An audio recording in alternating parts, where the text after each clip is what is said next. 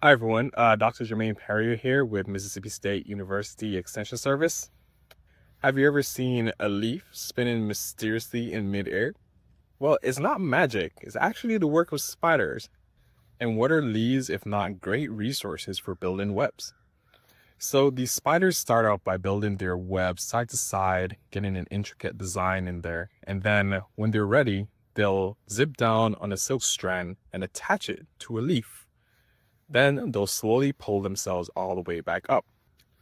Once they're in position, they'll let go of the leaf and allow gravity to take over.